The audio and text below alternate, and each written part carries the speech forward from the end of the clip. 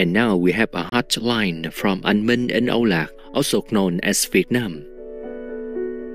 Kính gửi sư phụ kính yêu, năm nay con 9 tuổi, con ăn thần chay từ trong bụng mẹ.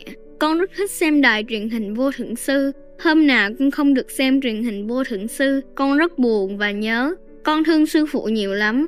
Con rất thích xem tiết mục nấu ăn và chuyện cười cùng những tin tức khác của đài. Con ước mơ một ngày nào đó được gặp sư phụ và cầu mong tất cả mọi người trên thế giới ăn thần chay để thế giới hòa bình, mọi người yêu thương nhau và thương Ngài.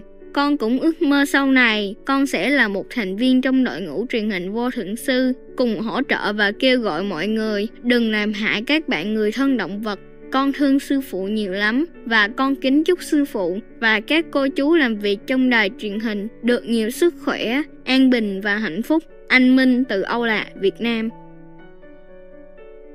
Delightful Anh Minh It is such a joy to be reminded of the many beautiful children in our Kuan Yin family.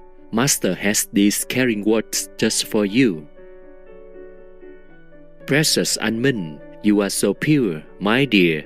Just wishing sincerely to have Supreme Master TV is already drawing heaven's blessing your way, and it warms my heart to receive this message from you. Help others as much as you can, and remember your divine nature always. love you very much.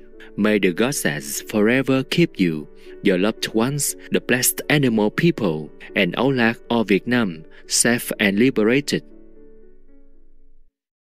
I personally went vegan because I couldn't stand the fact that I was eating someone who had a terrible life, locked up in a cage, born just so that they can be killed. I don't want to contribute to anyone's suffering, whether directly or indirectly. Domenica Pia Seca, vegan.